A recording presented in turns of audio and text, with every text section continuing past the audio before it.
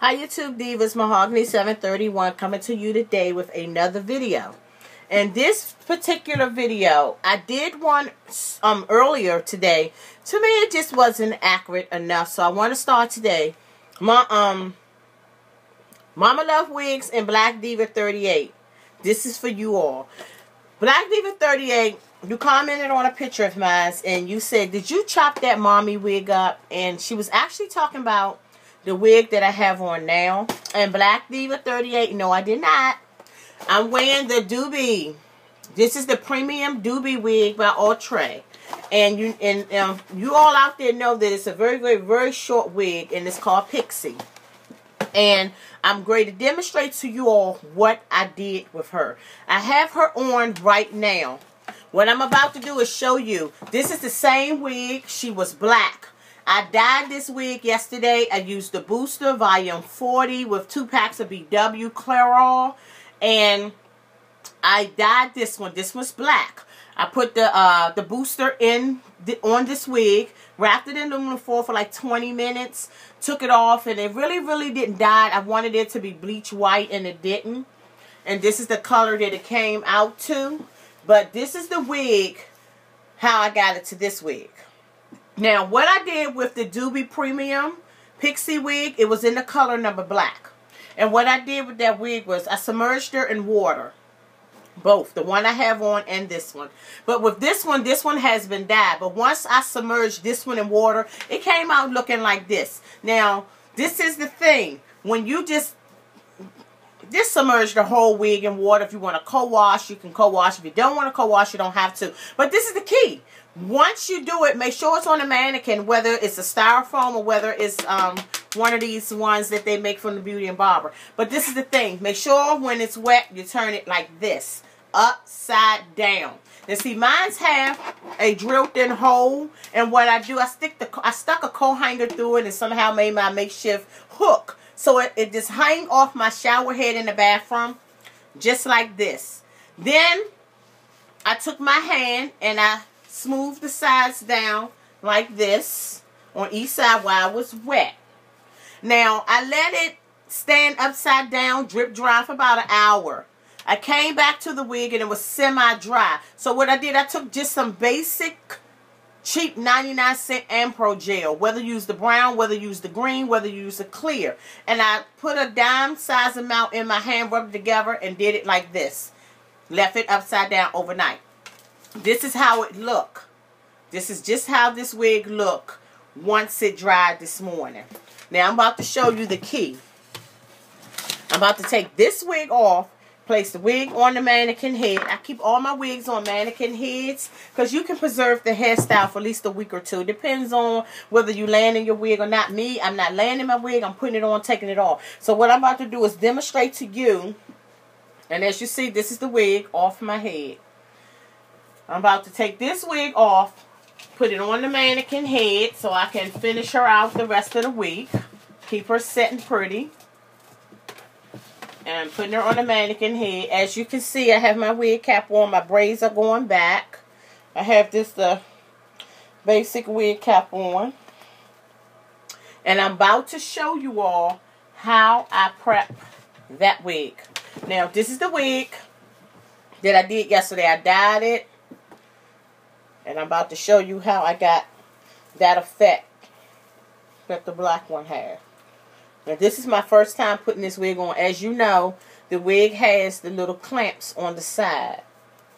And I take and I push mine in so it can lay flat on my face. I haven't trimmed up the sides. As you know in the other video, I did the sides. If you notice, I'm looking away because I have a mirror right here. And I can just see a little bit better. Okay. This is the wig that I dyed yesterday. As you can see, it's, it's not bad looking. I still need to do my little thing to it. So this is what the key is. Got2b spiking glue. This is the key right here. Now I'm going to show you. You can find this at Walgreens, CVS. A lot of stores carry it. A lot of stores. Now, as y'all see, I didn't use that much. It's running. Now, I'm rubbing it.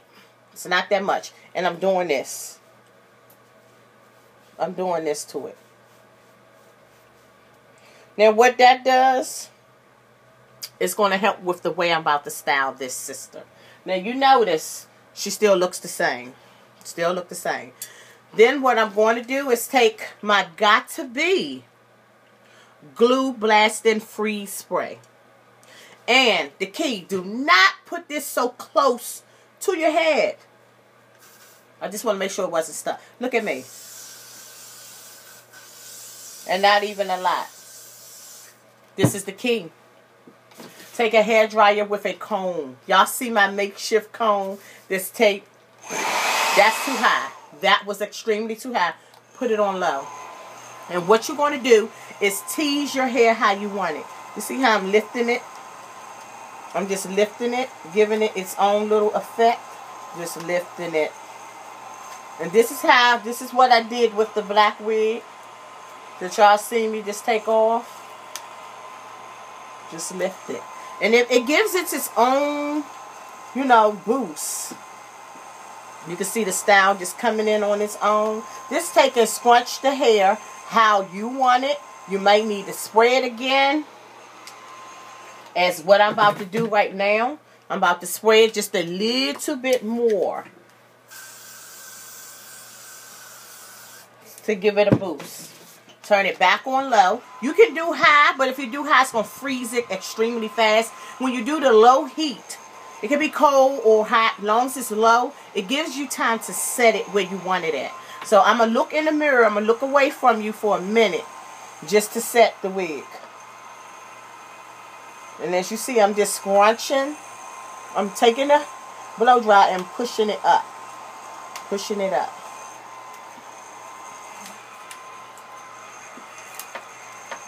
My cord doesn't reach that far. I'm just squinching it up all crazy and wild.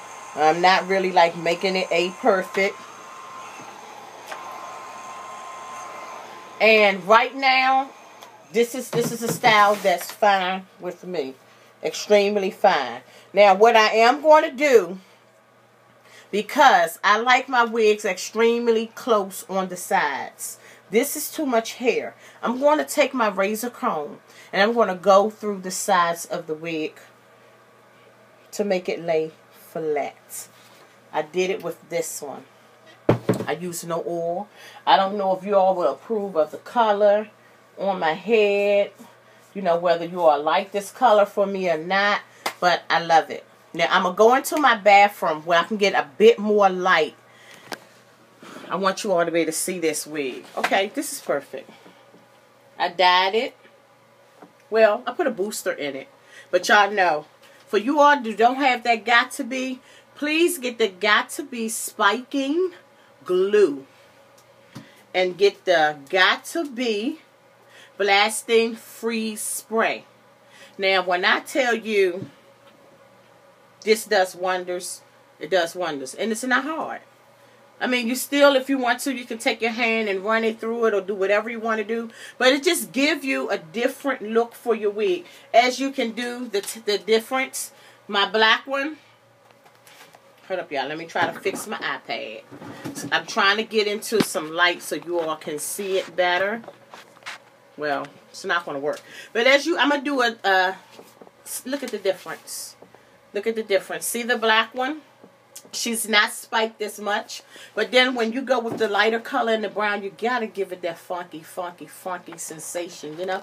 You got to make it super funky. I'm trying to get in the light so you all can really, really, really, really see the effect of this style. I just dyed it with a booster. I didn't put no dye in it, no nothing. It just is the color it came out.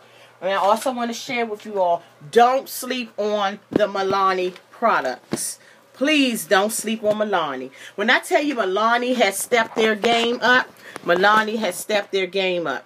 I'm wearing a Milani lipstick right now. And this is how the tube looks. They even came up with a different kind of tube. This is how the tube looks. Has a little color on the bottom. No, no, no. My mistake. This is Black Radiance. I thought this was Milani. Black Radiance. And the color is 5064 and this is the color correction black radiance and